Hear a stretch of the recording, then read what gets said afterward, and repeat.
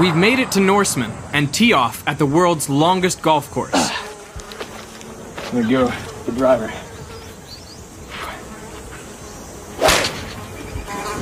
Nailed it.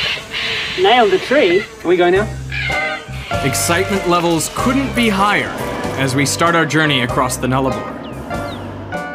We've left Lake Lefroy and our mining friends in Kalgoorlie to cross the Eyre Highway and the dry, hot, seemingly endless plain known to many weary travellers as the Nullaboring. John Eyre, the first European to stumble across this region, described it as a hideous anomaly, a blot on the face of nature, the sort of place one gets into bad dreams.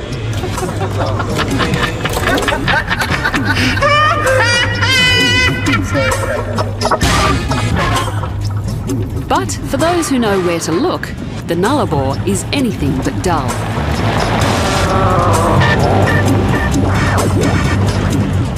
I think it's here. We're close. According to this, straight up ahead, it should be just at the end of this little section.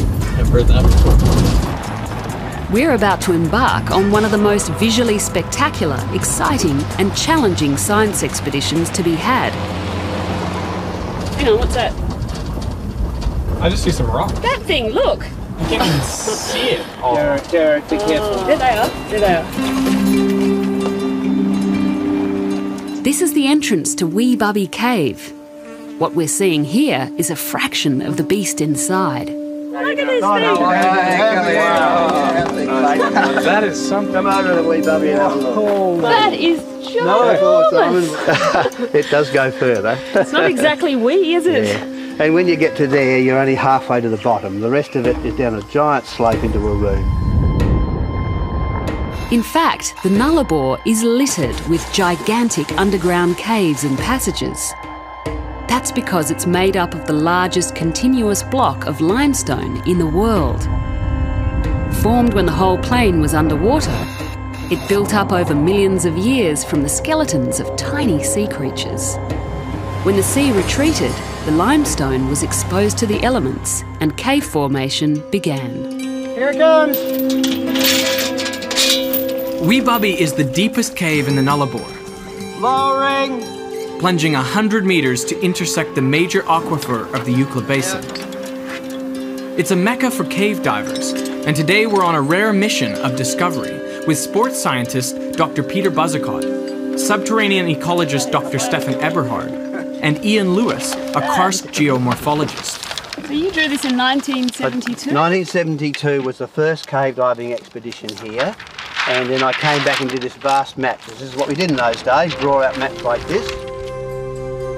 40 years ago, Ian led the first scuba diving expedition under the Nullarbor, here at Weebubbie. We discovered everything from here, all through to the hidden lake in here. Prior to this, only a handful of foolhardy adventurers had explored the dry caves of this region, locating telltale holes or dolines from the air. This is a carbide lamp that burns acetylene, and cavers and the old explorers of Nullarbor used to use these. And I brought Fred's hat. He, he died recently, he was 95, but he had a great life and he was involved with ex- exploring the dry cave here in the 1950s. So I brought it out here to celebrate Fred's life and 50 years caving here. Beautiful. So this is what Fred would have looked like. Probably I look about his age, I think. Down we go.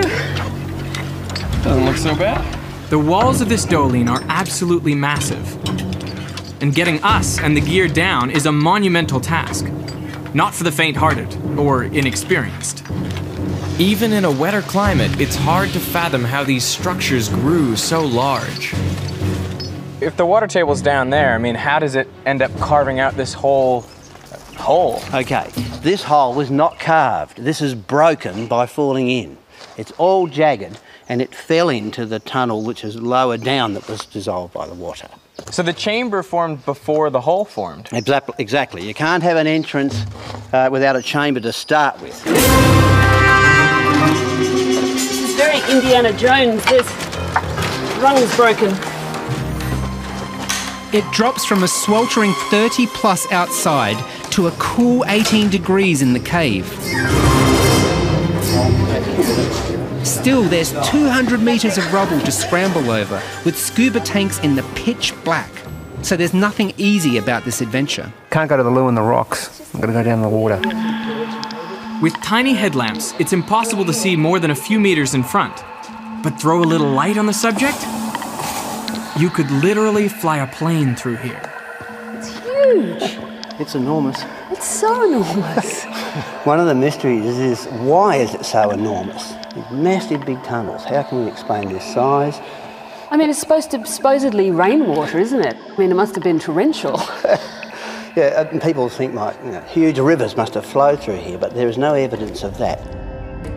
Millions of years ago, when the Nullarbor uplifted, these layers of porous limestone fractured and weakened.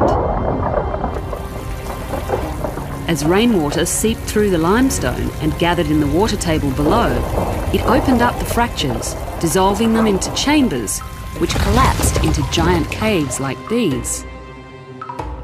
But Ian doesn't think that's the whole story.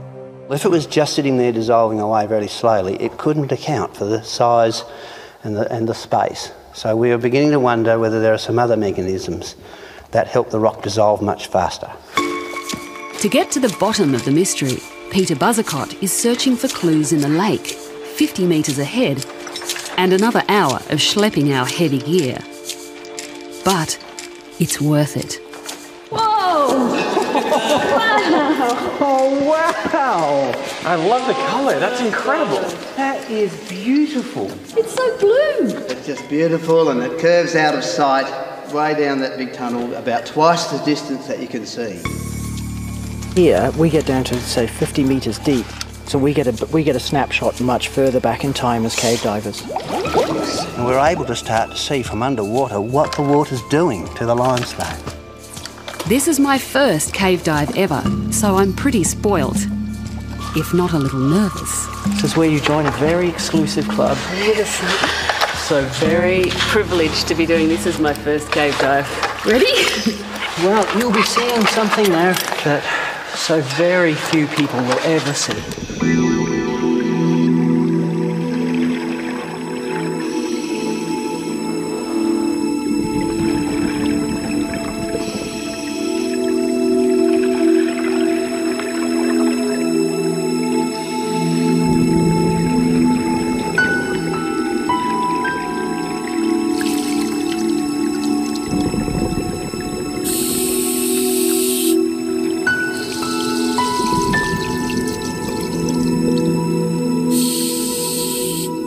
The water is so breathtakingly clear at Weebubbie. It's like flying through another planet. We all say that because you can't see the water; it's invisible. We measure the visibility at 500 feet. I've never been in anywhere in the world that does that. It's the best, the best visibility in the world.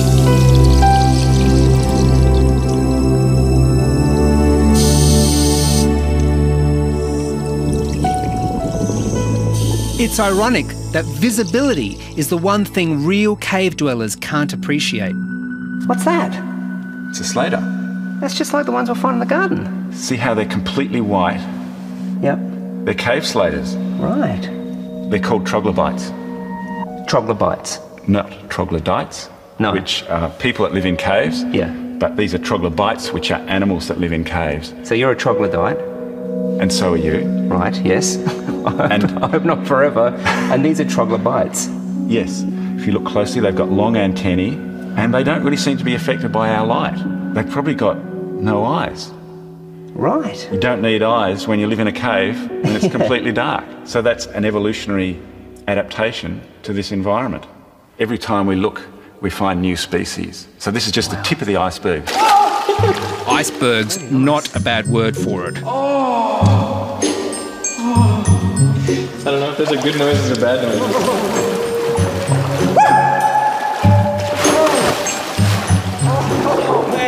That's quite cold. It's very cold. It's fresh. it's very fresh. What temperature do you reckon it is in here? Uh, I'd guess I'd probably say about maybe 10 to 15. no way. They measured the temperature in here. It's Oh, like it? 17 or 18 degrees. All right. You know that the temperature actually works out to be the same as the air temperature, and the same as the rock temperature, and the same as the yearly average temperature on the surface. Wow. So it all kind of averages out down here. It's very consistent. It is. Temperature is exactly what we're interested in down here.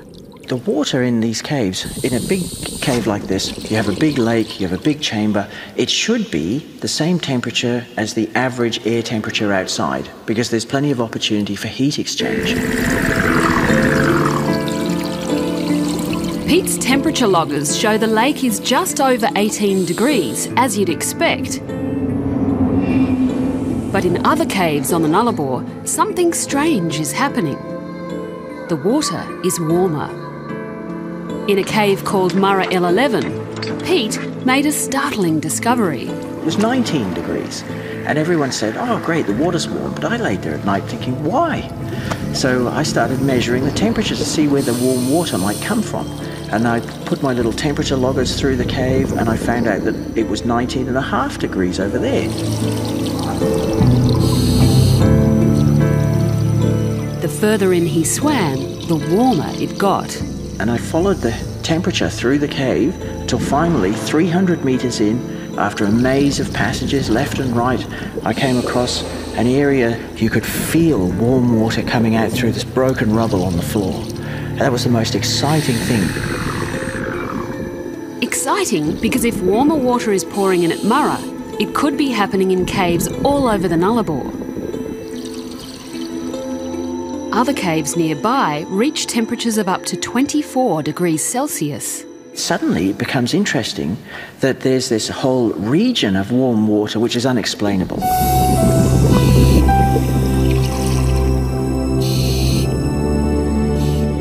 Could Pete's discovery help solve the mystery of why these caves grew so large?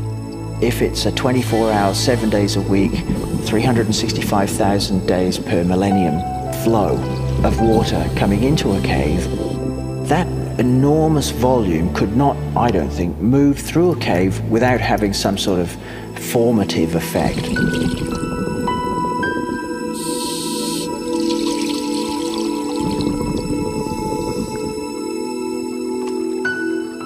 That was so amazing. You know, when we were at the end, looking in, we were probably looking back five million years. Really? Something like that. Thank you so much. That was such a good. I'm sorry, coming to give you a hug. that was such a good experience. Yeah, yeah.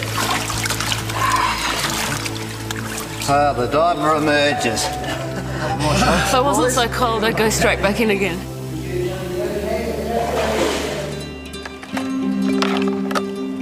Pete's temperature data shows Weebubbie Cave also gets warmer further in.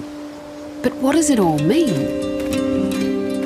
You're a cave formation expert. I was just wondering what you thought about Pete's hot spring discovery. Do you think that's an exciting thing? Well, I was a bit reluctant about the hot spring theory uh, until I had a good chat with him and so on. But I'm very interested in the area in caves where water temperatures are elevated. Why did you have reservations? Because they aren't hot springs. They're not gushing out of the ground and we all jump in and have a lovely swim or whatever else. We've got warmer water coming slowly through the limestone as he's been able to measure it. And that's of great interest in a geological sense for caves developing. Why? Why? Why is that interesting? That might mean that that water is coming from somewhere else or charged up in mineral in, in minerals and so on, and that has big implications for how big caves might form here. Ian's team has already shown how geothermal activity has shaped other caves in Australia. Giant sinkholes and caves in Mount Gambier, South Australia, line up with volcanoes in the area. Gases from the volcanoes around Mount Gambier has come up into the limestone and made the water much more acidic, and that explains why it's dissolved such huge spaces. But there's no volcanoes here. No, there's no volcanoes here, but you don't have to have volcanoes to generate heat or to generate changes in groundwater chemistry. The whole continent of Australia is floating on a magma. It doesn't form volcanoes, but it's able to warm and generate gases and so on that can work their way up through weaknesses in the rock up through it to the limestone and the groundwater and then acidify it. Peter and Ian believe the elevated temperatures and structures of the Nullarbor caves may indicate similar geothermal processes. It's a pretty new idea, but on the scale that we found it in Australia, in the Mount Gambier area, and the scale of the caves here, it starts to really open our eyes and say this is a seriously new way to look at how large caves may form. A new theory on cave evolution may seem like enough for one day, but there's even more secrets to unlock down here. Stefan's taken me on a second dive to point out the extraordinary life forms that exist in these dark waters.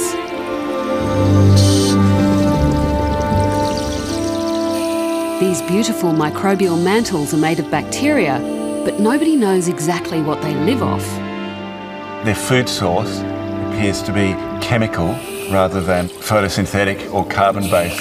In many ways, they're similar to like the deep sea bacterial colonies, the black smokers, but these are quite different, quite unique to the Nullarbor plain. These microorganisms are already known, but Stefan's excited to find out what else lives here. I guess what I'm interested in is not the microorganisms so much, but the, the macroorganisms. We know that there are no large things, but the ones I'm looking for are smaller than the naked eye. So I've been taking some samples in here. Maybe we might have some microscopic crustacea, but I have to take it back to the laboratory and have a look under the microscope before we'll know. You can't see it here, but Stefan did indeed make a successful catch. The first aquatic crustaceans ever to be discovered in a deep Nullarbor cave. There are brilliant chemists and geologists and whatnot out there who will never see the things that I see. And cave divers, I think, have an enormous potential to contribute to our understanding of our country. We're explorers at the frontier of where humans go. So uh, the more scientists we can get into cave diving, the better.